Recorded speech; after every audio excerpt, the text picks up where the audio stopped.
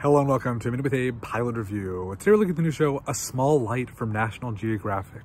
This series tells the story of how Otto Frank's secretary uh, helped to hide his family uh, during the Holocaust. And I think a lot of people are probably familiar with the Diary of Anne Frank. This shows a bit of a different side of the story. Uh, there's a little bit of humor and some other things in it.